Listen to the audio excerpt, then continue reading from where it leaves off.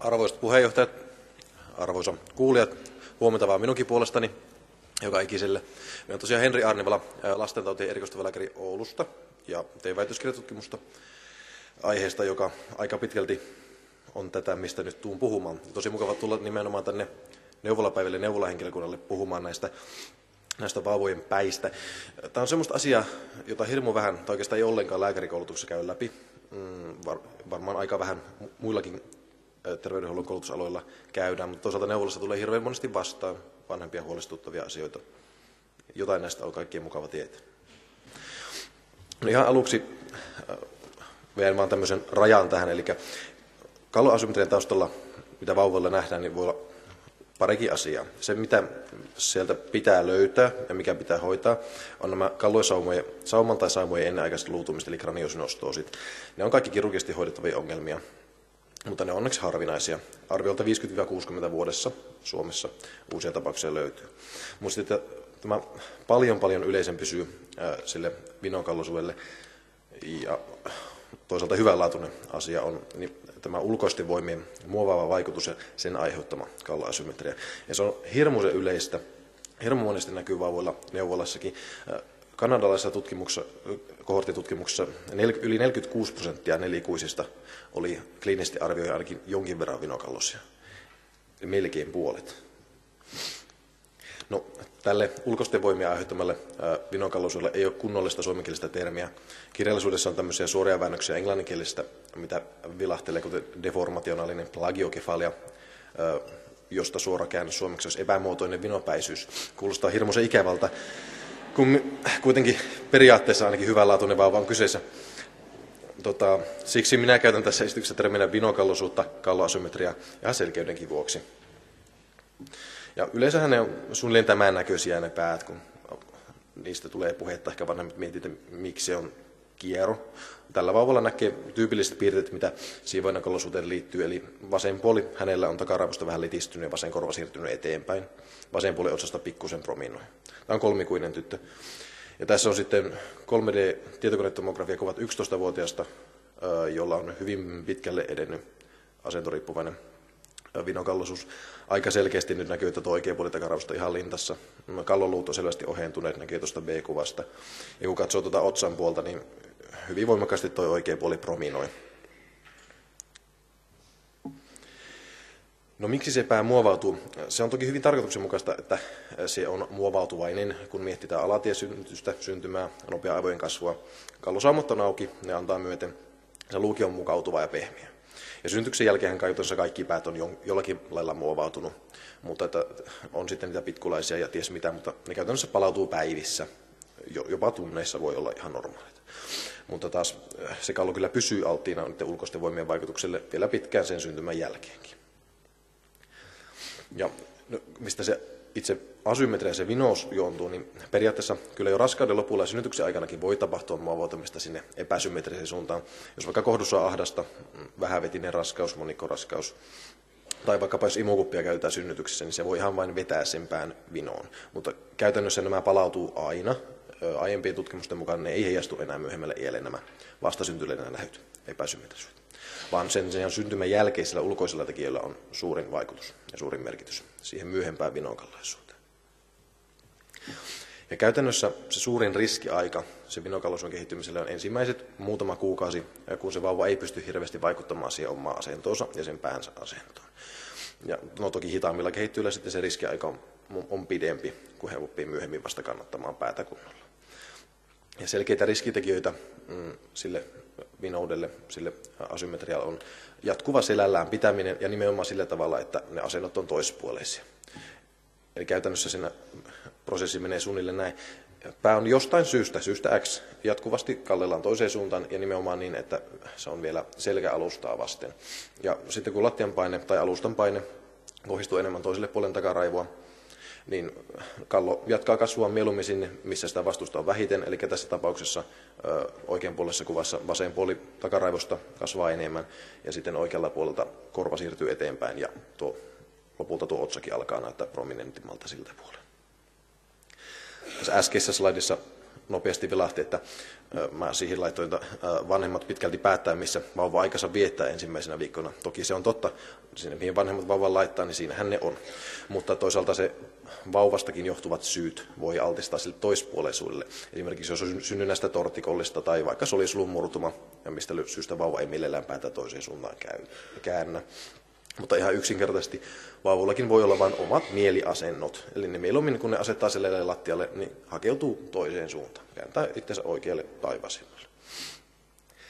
No, tähän vinokallisuuteen liittyy myös tosi monesti kaulan liikerajoitusta, ihan samasta prosessista johtuen, kun tästä äskeisessä kuvassa nähdään, että jos päätä mieluummin pitää jatkuvasti toiseen suuntaan, niin loppupeleissä käy niinkin, että ne kaulan lihaksiin saattaa tulla kireyttä sillä tavalla, että se pää ei kunnolla enää käänny toiseen suuntaan, ja vastaavasti kun sitä toista suuntaa ei tule harjoitettua, niin se lihasheikkous myöskin sitten korostaa sitä toispuoleisuutta. Meidän omassa aineistossa kolmikuisista, joilla oli vinokallisuutta, joka kuudennella oli myös kaulan liikerajoitusta, mutta sitten taas jenkiaineistossa vuoden ikäisillä, joilla oli tämmöistä vaikea-asteisempaa vinokallisuutta, niin kuin vaikka tuossa 3D-TT-kuvassa näkyi, niin heistä 97 prosentilla oli hoitamaton tortikollis siinä mukana. Ja se tosiaan lisää sen vinokallisuuden pysymisen riskejä, jos siellä tuommoinen rajoitus on mukana. Ja on hirviä yleisiä nämä ongelmat. Ja nyt me omasta aineistosta katsottiin äh, näitä prevalensseja, niin vastasyntyneillä nyt näkyy jonkinlaista asymmetriaa reilulla 7 prosentilla, mutta ne kaikki käytännössä palautu. Mutta sitten uusia tapauksia, niin kolmen kuukauden ikään, niin joka kolmannella oli jonkinlaista kliinisesti nähtävää asymmetriaa. Kuuden kuukauden iässä vailla neljänneksellä, vuoden iässä vailla viidenneksellä. Meillä ei ole vielä pidempää seurantadataa, mutta australialaisessa aineistossa reilu 3 prosenttia oli kahden vuoden iässä pinokallosia. Jos suoraan sama trendi jatkuisi meillä, niin se olisi vajaa 10 prosenttia, mitkä vielä näkyisi, mutta määritelmät on pikkusen erit ja mittaustavat on pikkusen erit meillä ja näillä australialaisilla. Ja se vinokalloisuus, mitä vauvoilla näkyy, niin käytännössä se itsekseen kyllä korjautuu. Nimenomaan sitten, kun aletaan viettää pidempään aikaa vatsalla istuen. Ja syntyvyys pienenee muutama ensimmäisen elinkuukauden jälkeen. Ja lähes kaikilla se lievittyy se asymmetria. Toki jos se on kovin vahva asteesta, niin se ei välttämättä kerkeä täysin palautua. Ja kun mietitään, että mitä vanhempi lapsi on kyseessä, millä sitä pinokalloisuutta on, niin sitä vähemmän sillä on aikaa palautua. Kallo ei enää kasva niin paljon, kasvuvara ei ole, se ei enää muovannut niin paljon, saumat alkaa sulkeutua. Vanhemmilla on isompi riski, että se pysyy se pinokalloisuus. Ja on ole pieni osa toki vauvoista, joilla se lisääntyy vielä se asymmetria ekojen kuukausien jälkeen. Mutta yleensä heillä on nimenomaan hoitamaton riskitekijä taustalla, vaikkapa just tämä tortikollis mukana, tai esimerkiksi karsastusta vanhemmilla neurologista ongelmaa. Ja sinänsä se vinokalloisuushan hyvänlaatuinen ongelma on vanhempana, sillä ei hirveästi ole merkitystä se jää hiusten alle, mm, jos sitä on jäljellä ylipäänsäkään. Toisaalta Vaikea-asteisissa saattaa myös leuko- ja kasvojen puolelle heijastua se asymmetria. Ja näihin nimenomaan vaikea-asteisiin liittyy myös kallonpohja- ja leukonivelten kiertymistä ja sitä kautta myös lisääntynyt purentavirheiden riski. Ja tämän kuvan motiivilla vielä uudelleen ihan että tästä pystyy pikkusen hahmottamaan leukanivelten paikkaa. Kunnollista kuvaa en löytänyt, missä olisi näkynyt ne leukanivelet, mutta että periaatteessa, kun tässä on tämä keskiviiva, ja täällä näkyy auki olevat koronalisaumat, niin näiden pitäisi olla samalla kohdalla, näiden koronalisaumojen ja leukanivelet on suunnilleen näiden koronalisaumojen kohdalla. Eli tällä oikealla puolella se on kyllä ainakin pari senttiä siirtynyt eteenpäin se leukanivel. Niin se kyllä heijastuu varmasti ihan siihen purentaankin se ongelma tälläkin lapsella. No, sitä voi koittaa lievittää sitä virokalloisuutta aktiivisestikin, vaikka se itsekseenkin yleensä palautuu. yleisin keino on ihan vain ohjata tämmöistä asentohoitoa vanhemmille. Eli käytännössä aletaan suosimaan sitä heikompaa puolta, sitä mihin vauva ei tykkää yleensä katsoa ja tykkää sitä, missä puolella vauva ei tykkää olla. Vaikka tehdään sillä tavalla, että nukkuessa pistetään vanhempien sänky silleen, että vauva joutuu katsomaan sinne huonommalle puolelle. Annetaan ruokaa, jos pullasta syötetään, niin syötetään sieltä huonommalta puolelta ja annetaan leluja tarjotaan huonommalta puolelta. Mutta toki tämä teho ihan riippuu siitä, milloin se aloitetaan, koska se on verran ollen siihen paljon, kun kallolla on kasvua jäljellä. Jos on tämmöinen tortikollis tässä mukana, niin toki fysioterapiasta on hyötyä. Parannetaan kaulan liikelaajuuksia ja vähennetään niitä lihaskireyksiä mahdollisesti, mitä siellä on. Ja joissakin maissa, muun muassa no Euroopassa, Sveitsissä ja Hollannissa ainakin, Yhdysvalloissa myöskin, niin ihan aktiivisestikin kypärillä hoidetaan joskus tota, näitä vinonkalaisuuksia, mutta sen teho on hyvin kiista-alainen ja kypärätkin on hyvin, no, vähän niin kuin jääkiekkokypäriä, kun katsoo vaikka tuommoinen jofaa tuolla oikealla ylhäällä, mutta periaate on, se on käytännössä se, että ne kypärät laittaa painetta sille prominoivalle kalloosalle ja ei painetta sinne littialle osalle, että littia osa kasvaisi enemmän kuin promino, osa. kun miettii tätä niin kuin patofysiologiaa, niin pitäisihän tuon jollakin tavalla toimia. No joo. Tämän esityksen kannalta ja sitten mikä, mihin oma kiinnostus on toistaiseksi kohdistunut, on se ehkäisypuoli. Suojaivia tekijöitä on myös kuvattu aiemmissa tutkimuksissa. Vatsallaan pitäminen syntymästä asti valvottuna muutamia minuutteja päivässä ja sitten se pääasennon vuorottelu on selkeästi suojaavia tekijöitä. Toisaalta sitten se, että jos vauvalla nähdään liikerajoitus, tortikollis ja aloitetaan varhaisen fysioterapia, niin selkeästi vähemmän myöhemmin näkyy sitten sitä vinokallisuutta. Me tehtiin Oysissa oma tämmöinen tutkimus, satunnaistettu kontrolloitu tutkimus siitä, että miten sitten, jos me annettaisiin tämmöinen asentohoito kautta fysioterapiaohjeistus ihan vastasyntyneiden vanhemmille, niin miten se sitten ehkäisi sen vinokallosujen syntyä myöhemmin. Vierehoito-osastolla ohjeistettiin kaikki vanhemmat, jotka mukaan halusi lähteä. Interventioryhmän ohjeet oli pääpiirteittäin sellaiset, eli pidetään vauvaa vatsallaan syntymästä asti valvotusta puoli tuntia vähintäänkin. Esimerkiksi alussa voi pitää sylissä, jos se siinä paremmin viihtyy, tai käden päällä sillä tavalla, että kuitenkin niskaekstensita tulee ja saa treenattua niitä niskalihaksia, mutta nukuttaa piti aina selällä, totta kai, ettei kätkyt kuolemanriskin nouse. Sitten me painottiin sitä, että nukkumapaikassa ja siellä, missä vauva aikansa viettää, niin vauvalla pitää olla tilaa kääntyy molempiin suuntiin, että ei jatkuvasti kavaloja sitä yhteen asentoon ja pistetä aina ihan samalla tavalla sinne sänkyyn. Vauvan pääasentoon pitäisi vuorotella ja sillä tavalla se sänkykin olla, että mieleiden aisteärsykkeet tulisi joka puolelta, mutta toisaalta monesti se on käytännön syystä mahdotonta, niin sitten vauvan nukkumissuuntaa voi vaihdella päivästä toiseen siinä sängyssä. Ja toki syötettäessä, etenkin puuloruokinnassa pitää vielä erikseen mainita, että muistakaa vuorotella sitä puolta. Harvemmin sitä tulee ajateltua, jos asiasta ei sanota, vaan aina samalla puolella syötetään.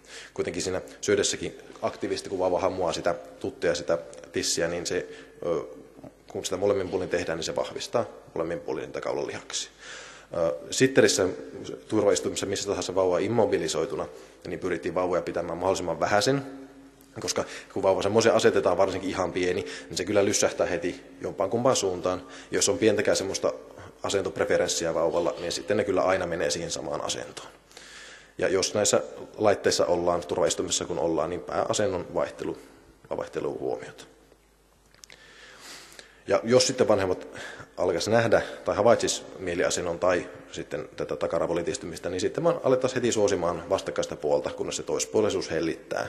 Just tällä tavalla, että vaikka laitetaan vauvan sänky niin, että joutuu vanhempia kohti, kun haluaa katsoa, niin joutuu heikommalle puolelle katsomaan ja tarjotaan leluja heikommalta puolelta ja näin edespäin. Me myös annettiin nämä venyttelyohjeet kaulan lihasten suhteen, mitä fysioterapeutit antaa niille kenokaulasille, mitä voisi vanhemmat heti alkaa tekemään, jos he havaitsis pään jatkuvaa kallellanpitoa tai sinne, että vauva ei pysty toiselle puolelle päätä kunnolla kääntämään. Et me kuvattiin kolmikuiset 3D-kameralla, se systeemi on tuommoinen koppi, sieltä tuota, vauva istutetaan keskelle tuolia, sieltä tutkija kurkistaa tuolta ikkunasta, näyttää lelua. 20 kameraa siinä yhteensä nappasee semmoisen kuva. Sitä voi pyöritellä, analysoi melko tarkasti. Ei käy niitä tarkemmin nyt läpi, se ei ole olennaista tämän esityksen kannalta. Mutta tämä ehkäisyohjeistus käytännössä kolmen kuukauden ikään niin vähensi yli puolella sitä vinokallisuutta. Ja mikä tärkeintä, niin se oli lievempää. Eli kellään ei nähty vaikeasti sitä vinokallisuutta kolmikuisena interventioryhmässä, verrokkiryhmässä 3,1 prosentilla. Sitä näkyy.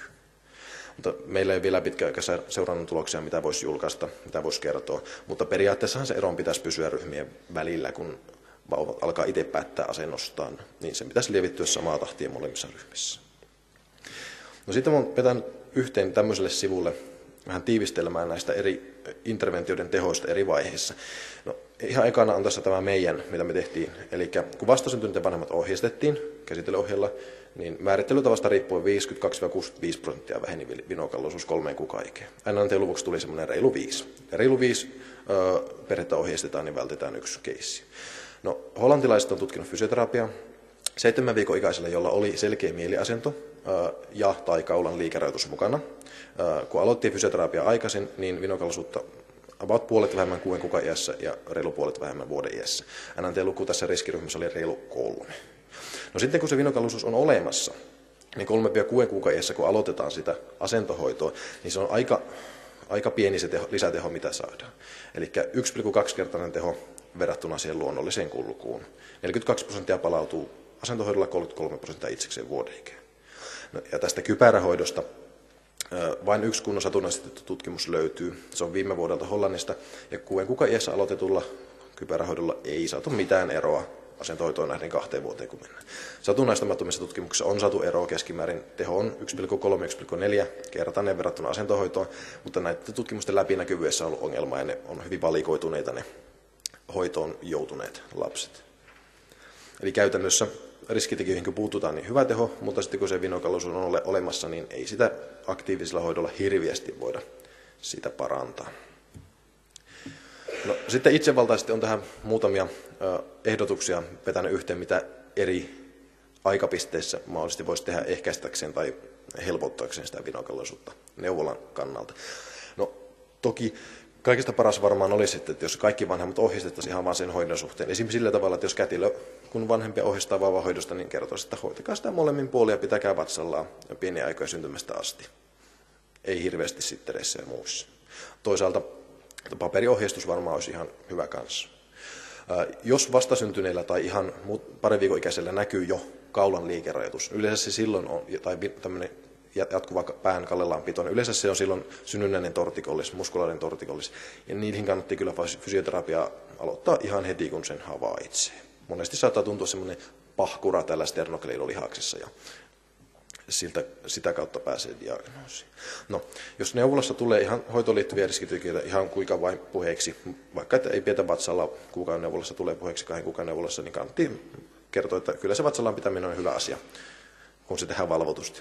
Ihan omasta kokemuksesta tuntuu, että ongelma ehkä on, kun ensisynnyttäjille sanotaan vierhoito-osastolle, että nukuttakaa sitten vain selällään, niin ei, kätkyt kuolemaa ei tule, niin tuota, ei ne sitten sitä pidä, ne pitää aina selällä. Hereillä ollessa ei ne vattalla sitä uskalla pitää. Eli siitä kannattaa erikseen vielä painottaa, että valvotusti se on hyvä asia. No, jos neuvolassa jostain syystä tulee esille tai vanhemmat kertoo, että se pitää aina päätä samaan suuntaan, ei se pysty toiseen suuntaan oikein katsomaan, niin fysioterapeutille voi ohjata tai antaa itse näitä venyttelyohjeita. Ja jos sitä vinokalusta näkyy, niin muistutte, että se on hyvänlaatuinen asia. Annetaan vähän ehkä neuvontaa sitä, miten asentohoidolla voi sitä lievittää. Fysioterapiaa voi laittaa, jos sitä kaulan liikeräytystä on mukana. Kypärähoitoa tällä ei käytetä tässä meidän maassa, eikä no nykytiedon mukaan todennäköisesti kannattaisikaan. Ja vielä muutama kiusa, kiusaksi laitettu asia tähän loppuun. Ja joskus se siellä kalloasymmetrian taustalla on se kraniosynostoosi ja ne pitää sieltä tunnistaa. Mutta käytännössä kaikki pystyy erottamaan kliinisten merkkien perusteella. Ja hyviä tämmöisiä, mitä voi sieltä etsiä sieltä kallo, kalloalueelta, tämmöisiä vinkkejä, kliinisiä vinkkejä on se, että asentoperäisessä vinokallosuudessa se takaraivo yle toispuolisesti ja se saman puolen korva siirtyy eteenpäin ja monesti se otsa prominoi samalta puolelta.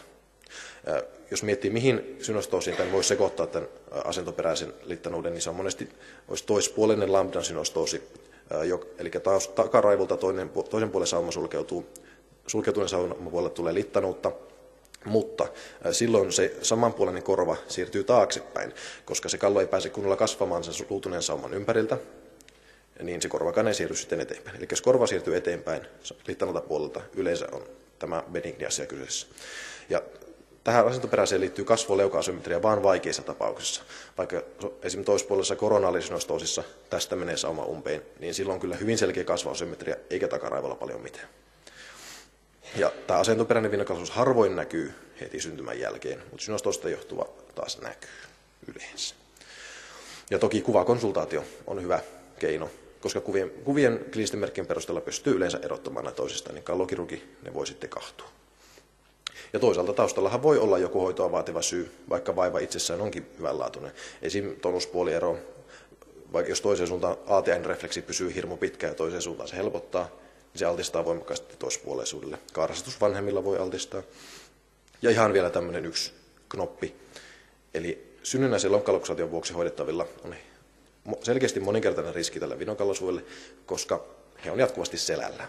Paljaissa tai lastassa, mutta jatkuvasti selällä. Meidän tutkimusryhmässä pilotissa muutama vuosi sitten tehtynä kahdeksan vuoden iässä lonkkalasta hoidetulla oli selkeästi enemmän kasvojen leukojen kalloasymmetriaa edelleen ja sen vuoksi kaikki, joille aloitetaan lasta- ja valjashoitoa, niin kannattaisi ohjeistaa sen, sen suhteen, että sitä päätä käännettäisiin molempiin suuntiin, hoitaisiin molemmilta puolilta, vietäisiin vatsalla. Ja ihan vielä loppukaneetteina. Vinokalloisuus yleensä ottaen hyvänlaatuinen, yleensä ottaen palautuva, yleensä ottaen ei kannata huolestua. Se voi ehkäistä, kun minimoinen riskitekijät kiinnittää huomiota hoitotapoihin ja varhaisella fysioterapialla, jos sitten kaulan liikeretusta on. Mutta toisaalta, vaikka se yleensä palautuu, niin ihan täysin passiivisesti ei kannata seurata kantiohjeesta asentohoidosta perusasioista. Ja toisaalta fysioterapiankin sitten ohjata etupainotteisesti, jos kaulaliikeretusta on, koska ei sitä loppupeleissä ihan sata varmasti voi sanoa, kellä se pahenee ja kellä se on sitten oikeasti näkyvä vaiva vielä myöhemmin. Kiitos.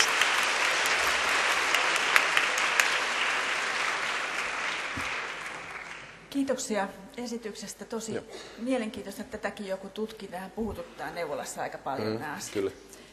Nyt meillä ei ole valitettavasti aikaa yleisökysymyksiä, mutta Tuovi halusi sanoa jonkun Joo. kommentin.